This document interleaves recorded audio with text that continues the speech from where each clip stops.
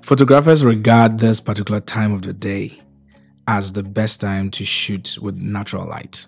Well, I beg to differ, but I would say that I enjoy shooting it regardless. And because of that, I'm going to give you some tips in shooting during the sunset or during the golden hour of the day. Let's get right into it.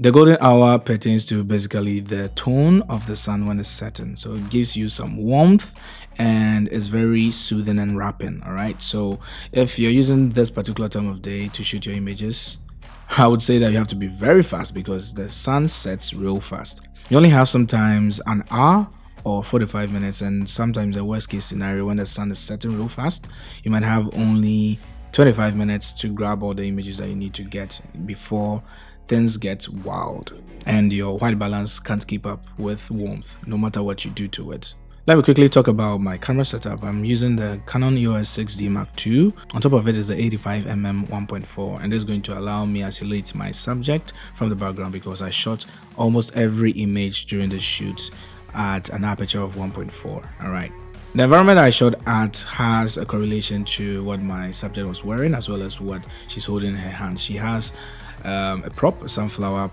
prop. It's actually not natural because, uh, yeah, I have it lying around the studio. So if uh, I need anything, I can just pick it up and I don't need to take care of the plant. I'm very bad at taking care of plants. So using a synthetic one will always get you what you need. And because it looks very hyper realistic, you can still get away with it. And in the environment I was shooting, once again, I had a lot of trees, and where the sun sets in this particular space is mostly perfect because you get a lot of shadows cast against the background I'm shooting against, right?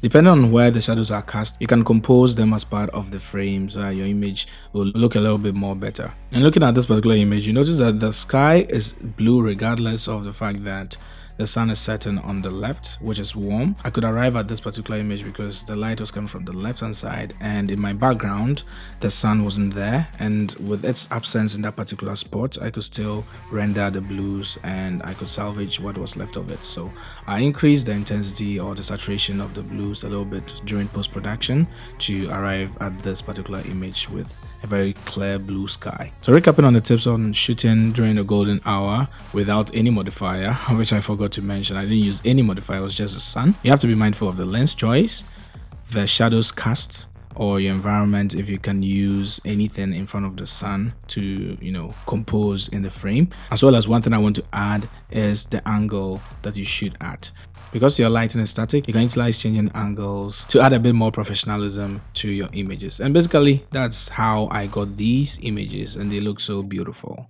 Thank you very much for watching this video to the very end. If you enjoyed it, please give it a thumbs up, subscribe to my channel and turn on the post notification button so that anytime I upload a new video over here on my YouTube channel, you'll be the first to see it and to watch it. Until the next video, have a wonderful day. See ya.